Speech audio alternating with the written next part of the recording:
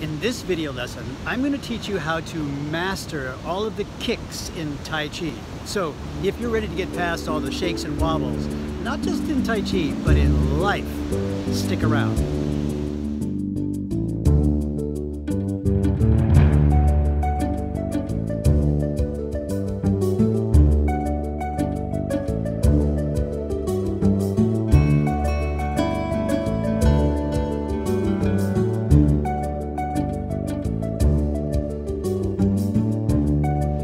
Everybody, it's David Dorian Ross from daviddorianross.com and taijifit.net and welcome to another episode of Learn Tai Chi at Home.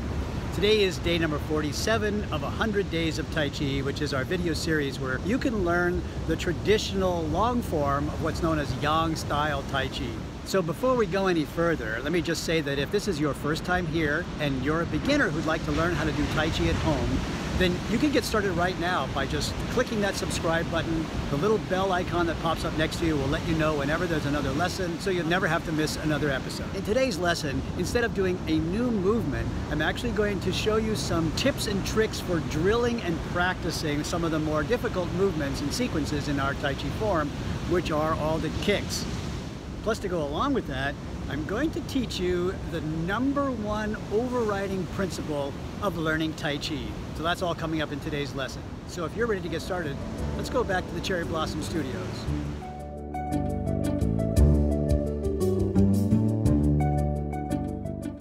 So here we are back at the Cherry Blossom Studios to work on a series of simple Tai Chi exercises to master the kicks of Tai Chi. Now, at the end of this series of exercises, I'm going to teach you about the number one most important overriding principle about mastering Tai Chi. So make sure you watch all the way to the end to find what this is. Now, I've also brought a cane today. I got such a lot of great feedback about using the chair in the other video that I thought I would try another prop here. And the reason why I brought a cane is because it's something that's portable and lightweight, and I think a lot of people might have one lying around the house, but you could certainly use anything for this exercise, something to hold on to. So a chair, a stool, a family member, a stranger walking by, I don't know, you, you take your pick, but I'm going to use the cane today. So what these are are a series of simple kicking drills that I learned from my teacher and that I've made up for my students. And let's get started with the first one.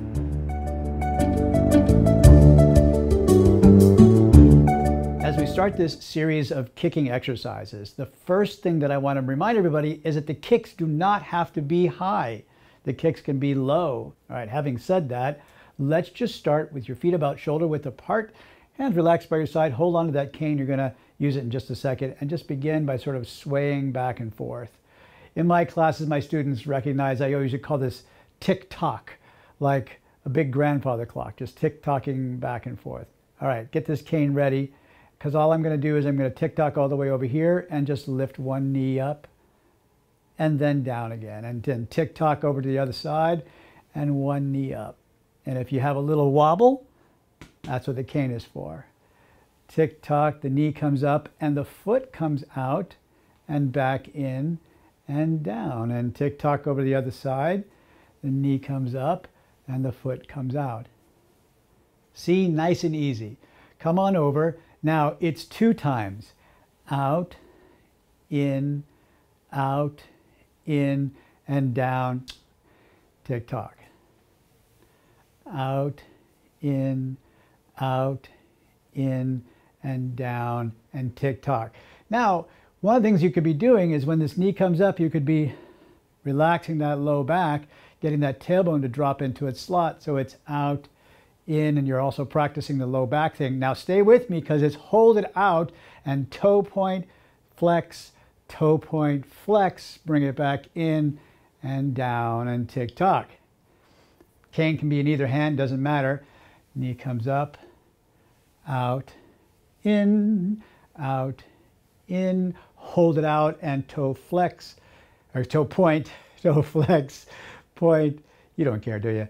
Back in again and down. Switch over to the other side and it's one more time. Out, in, out, in. Hold it out and point, flex. But now stay with me. Bring it back in and under the arm. Out, in, out, in, hold it out, point, flex, point, flex, bring it back into the center and down. You still like me? One more time here. And it's up and out, in, out, in. I just have to check. Hold it out there and point, flex, point, flex. Bring it in under the armpit, out, in, out, in. Hold it out there and point, flex, point, flex. Bring it back in all the way down. And that's our kicking exercise number one. Now you can do this as many times as you want to. You can have as many repetitions as you want to. I recommend that you start off with something just basic like one set on each side building up to the time when you go under the armpit and that's good for the first exercise. Now for the second exercise, I put the cane down because I'm going to use both hands in the arm opening. So we're going to add arms with the legs this time. But you can still use the cane or the wall or the chair, whatever prop you wanted to do, and simply do one arm at a time. You would change the other side and do the other arm. Does that make sense? All right, let's start the same way. We're going to stand with the feet about shoulder width apart and just slowly tick-tock to both sides.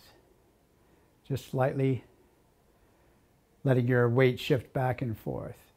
As I open out here, I'm going to come in and open out and come in and tap. Then a big step out and come in and tap and a big step out and come in and tap. Now stay with me. We're going to open up the arms like a swinging door. Remember how we do that for all the kicks? Come back in, step out, bring it in one more time, open up the hands and bring it back in. Now stay with me because on this next one, we're just simply going to lift the knee. Knee comes up, open out, and down and open. Here the knee is going to come up, the arms are going to open, and you kick right to me and back in, close them up, and step on out. Beautiful. Now the knee is going to point to the corner, open out, kick on out to the corner, bring it in, close it up, and step on out. One more. Bring it up, and the knee is, the toe is tucked in, the arms open out, and it's a separation with the toe pointed. Bring it back in, close it up, and step over, and step in with the other foot. So I'm just going to do this a couple of times. Open, step in, open, cross the hands. Ready for this? So it's bring it in, and it's just the hands opening. Cross them up, step on out. Take your time, no rush. Bring it in. The knee comes up, open. Close it up and step on out again. Now this is a knee up, the hands open. It's a kick right towards me. Bring it back in, close it up. Sideways, back in, the knee points into the corner. Open and kick on out. Bring it back in one last time with the separation.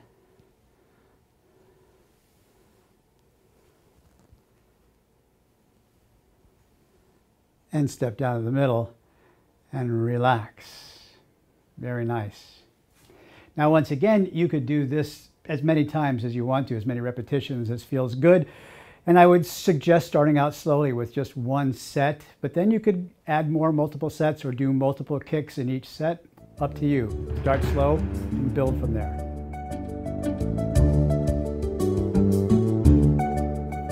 Finally, here's our third Tai Chi kicking exercise or kicking drill.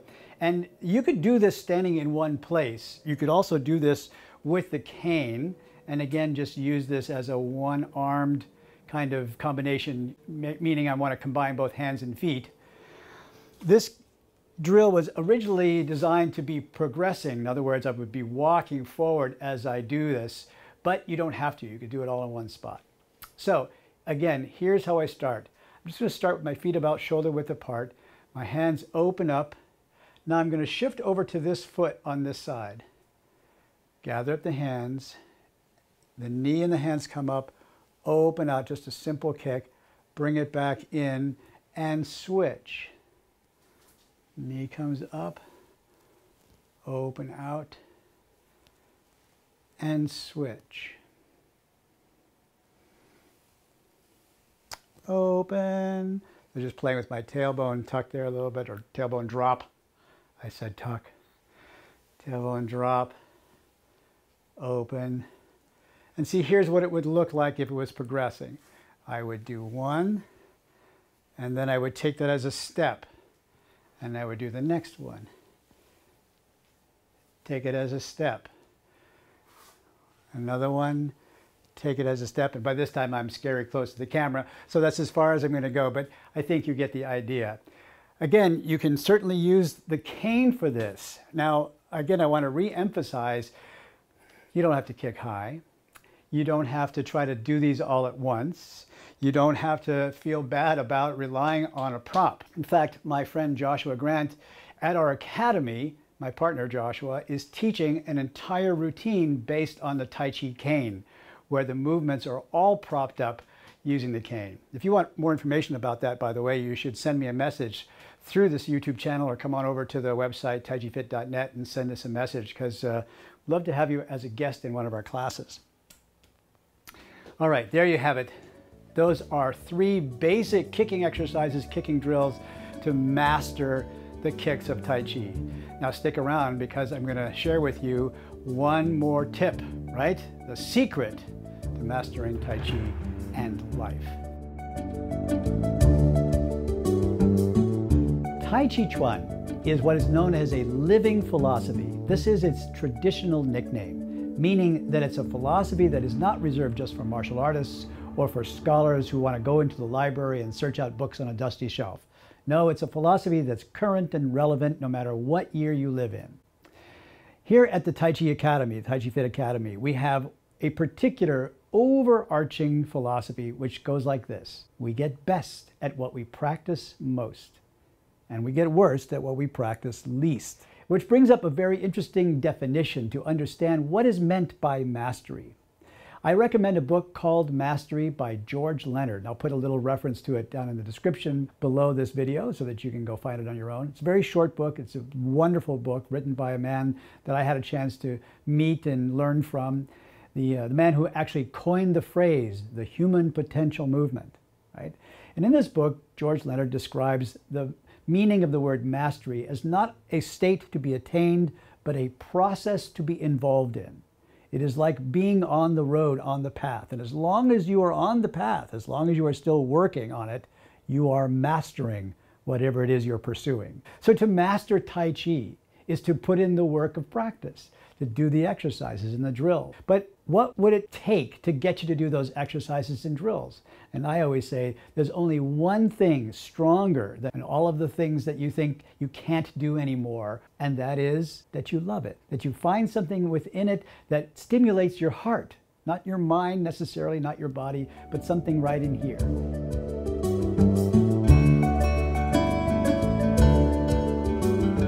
So here is the question of the day for you. What is it that you have in your life that so touches your heart and soul that no obstacle is too big, no barrier is too tall that would keep you from it?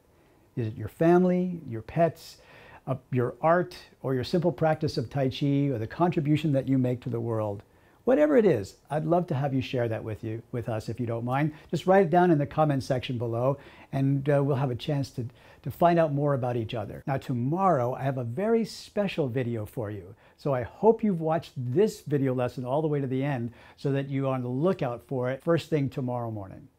All right. Well, once again, I want to say thank you for spending some time with me in this video lesson. If this is your first time here and you haven't already subscribed, please do so because I'd love to share more of these lessons with you. And for all of you, if you had a good time in today's lesson, do me a favor and just hit that little like, thumbs up thing down there. You know what to do. Appreciate that. If you haven't been sharing lately, just uh, remember the people that you told me about already that are in your life that you wish would be doing some of this and uh, hit that share button. Let them know about it. And last but not least, I just want to say once again, thank you so very, very much for giving me the opportunity to share my Tai Chi with you. I hope you have a wonderful evening and a great, great morning. I was going to say a great good night's sleep, which I wish. I wish for you to have a great good night's sleep. And I'll see you tomorrow in tomorrow's lesson.